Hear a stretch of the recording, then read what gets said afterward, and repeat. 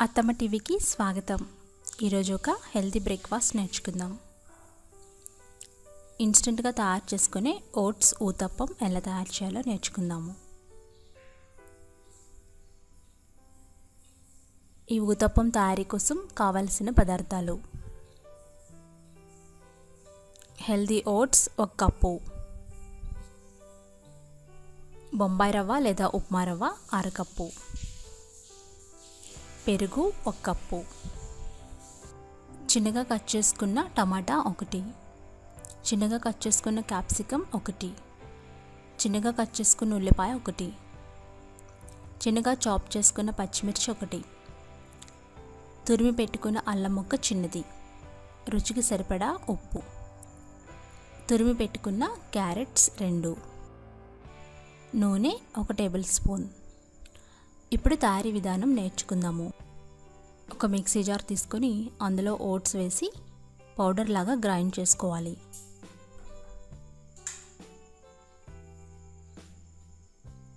ఈ విధంగా మెత్తని పౌడర్ లాగా గ్రైండ్ చేసుకొని పక్కన పెట్టుకోవాలి. ఇప్పుడు ఒక బౌల్ తీసుకొని అందులో గ్రైండ్ చేసి పెట్టుకున్న ఓట్స్ పౌడర్ వేయాలి. అందులోనే బొంబాయి రవ్వ వేయండి. అలాగే పెరుగు వేయాలి. అందులో తగినంత ఉప్పు వేసుకోవాలి. ఇవన్నీ బాగా కలపాలి. బొంబాయి రవ్వ ఓట్స్ పౌడర్ పెరుగు ఇవన్నీ బాగా కలిసేలాగా కలపాలి. అందులో కొద్దిగా వాటర్ వేస్తూ జారుగా పిండిని కలుపుకోవాలి.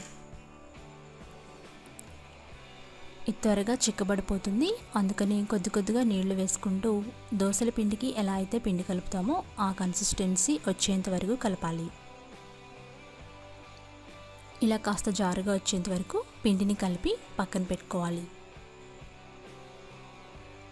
మూవీ క్లిప్లో చూపించిన కన్సిస్టెన్సీ రావాలి.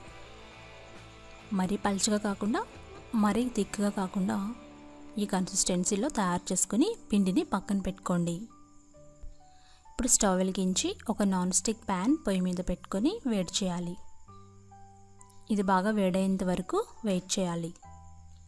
వేడైందో లేదో కొద్దిగా వాటర్ చల్లితే ఈ విధంగా ఎప్పుడైతే బబుల్స్ వచ్చి దానంతట అవే పోతాయో అప్పుడు బాగా వేడైనట్టు అర్థం.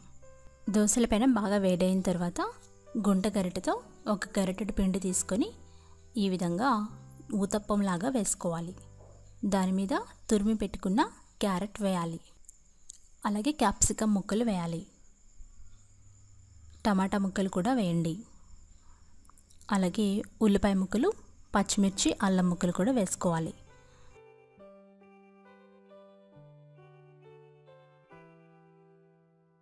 దాని మీద నూనె వేసుకొని హై ఫ్లేమ్లో కాల్చుకోవాలి. స్పాచులాతో ఒకసారి వత్తారంటే వెజిటబుల్స్ ఊతపంలోకి బాగా అతుక్కుంటాయి ఈ విధంగా ఒకవైపు బాగా కాలిన తర్వాత రెండో వైపు తిప్పుకొని కాల్చుకోవాలి. కాస్త మందంగానే ఈ ఊతప్పం వేసుకోవాలి.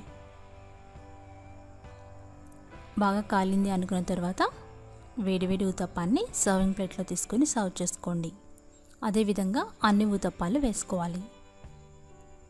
కావాలంటే కాస్త పలుచగా స్ప్రెడ్ చేసుకోవచ్చు. అంతేగాని బాగా వెడల్పుగా స్ప్రెడ్ చేయకూడదు. కావలిస్తే మీకు నచ్చిన వెజిటబుల్స్ ఏవైనా యాడ్ చేసుకోవచ్చు. ఈ విధంగా మీకు కావలసిన అన్ని ఊతప్పాలు తయారు చేసుకోవచ్చు. అప్పటికప్పుడు తయారు చేసుకునే ఓట్స్ ఊతప్పం ఎంతో రుచిగా ఉంటుంది అలాగే హెల్దీ రెసిపీ కూడా. ఏదైనా చట్నీతో ఈ ఊతప్పాన్ని సర్వ్ చేసుకోండి.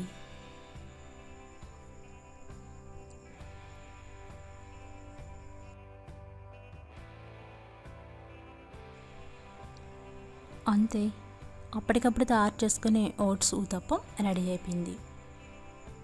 రెసిపీ టెక్స్ట్ కోసం అత్తమ్మ టీవీ డాట్ కామ్ చూడగలరు. ధన్యవాదములు.